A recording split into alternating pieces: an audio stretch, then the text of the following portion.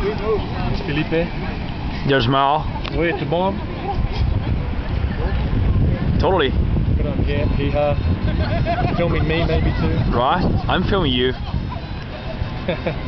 Watching you too. Man. It's gonna be it's gonna be in Brazil in a couple hours, man.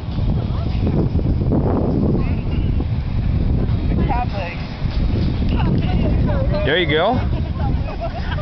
Bruno is teaching our Los Angeles friend how to play capoeira. And our friend Rafael was watching, trying to do something to impress them, but he just doesn't know about it. Look at that. Oh, good one. Dude, that's gymnastics. I mean, yeah, That's gymnastics. Like, you can go to Olympics with that.